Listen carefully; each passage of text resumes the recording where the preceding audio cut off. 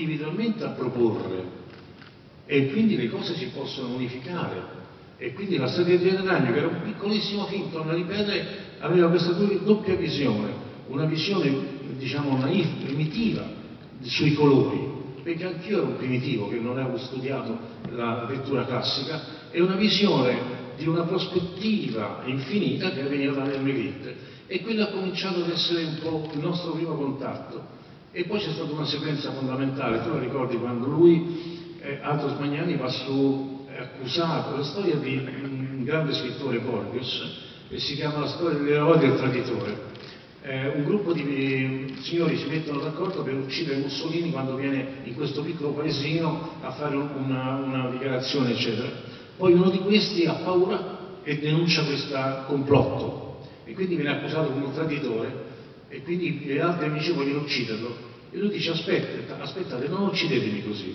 Li porta sul campanile e dice vedete Tara, si chiamava in omaggio a um, um, Via Convento, dice costruiamo una storia in cui io sì vengo ucciso, sono colpevole, mi dovete uccidere, ma facciamo in modo che diventi un esempio, diciamo, in quanto un, un, un eroe antifascista.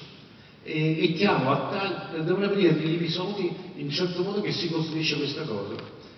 E io dentro questa uh, piccola uh, torretta, un pochino forse per i pochi mezzi tecnici che avevo, non lo so perché mi è venuta, dissi Bernardo, ma questa è una cosa, una, una sequenza fondamentale, perché lui in questo momento non è più Atos Magnani, ma è un simbolo, deve diventare un simbolo anti-rivoluzionario rispetto all'establishment. Io non credo che ci sia bisogno di vederlo in viso, potremmo lasciarlo in una silhouette, cioè che deve diventare un simbolo. 1969. Bernardo mi guarda e dice, caspiterina, è un'idea fantastica che mi piace molto, però vorrei farla capire al pubblico, non vorrei che pensassero perché non abbiamo la luce.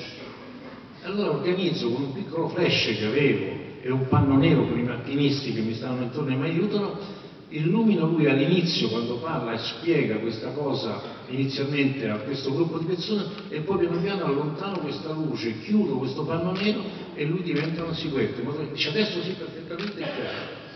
Qual è stata questa combinazione tra me e lui? Bernardo in tutte le esperienze, lo vedete ancora nel conformista, nell'ultimo tango, eccetera, si esprime, avendo fatto molta psicanalisi, non solo con la coscienza, ma anche con l'inconscio. Non solo dice le cose, certe cose sono suggerite. E io stranamente sentivo questa cosa nel usare la luce e l'ombra. Questa combinazione è stata il rapporto di 25 anni di cammino tra me e Bernardo Bertolucci. L'inconscio e il cosciente, la luce e l'ombra.